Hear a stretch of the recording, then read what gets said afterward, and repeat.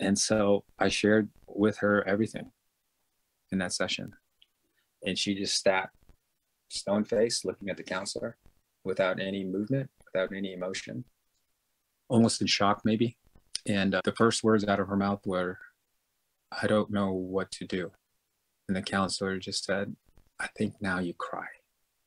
And as soon as those words left his mouth, just like a dam just broke. And I had never seen the pain and anguish on anyone that I witnessed with my own wife, seated not even two feet from me. And uh, so that started the grief process with not just me, for the both of us. So from 2019 until now, the behaviors, it's almost as if God completely removed, which is that's how I know that behavior is one thing, but deep down in the heart, why do I still struggle with a desire to want to act out? Why do I still struggle with anger and irritation mostly? And it was the anger and the irritation. And speaking with a friend who was struggling with the same stuff, he said, Man, I listened to this podcast where the vet did these drugs. Like he had to go some country overseas and did these drugs. And he said it was like life changing. I said, What kind of drugs? What are you talking about?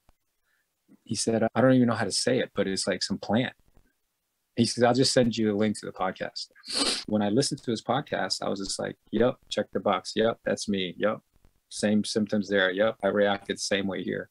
Yep, right there. What he just said is how his wife said those exact words. My wife has said the exact same words. So I'm like, okay, I'm on board, following, I'm following, I'm picking up what you're putting down. And he said he went down to Mexico and did these medicines, ibogaine and 5-MeO DMT, did that protocol in that order and gave his personal testimonial on his journey with both. And when I first heard it, I was just like, yeah, that's crazy. I'm not doing any of that. That's, that's cool, man, that you saw an enlightenment and it, it helped you, but that's crazy stuff. Good for you. In other words, yeah, I'm not doing that. And I don't know if it was because the algorithms and the social media now, because if you watch something on your smartphone, then you're just going to be bombarded with the same type of stuff that's constantly in my face. But are you telling me like this is this is where you're leading me to now? Had the conversation with my wife, and she said, at this point, what do you got to lose? So I reached out to another organization and got a phone call that same day. And I said, I'm all in. I got nothing to lose here. And I'm at my wits' end. I've tried all this other stuff and it's just progressing, digressing, getting worse.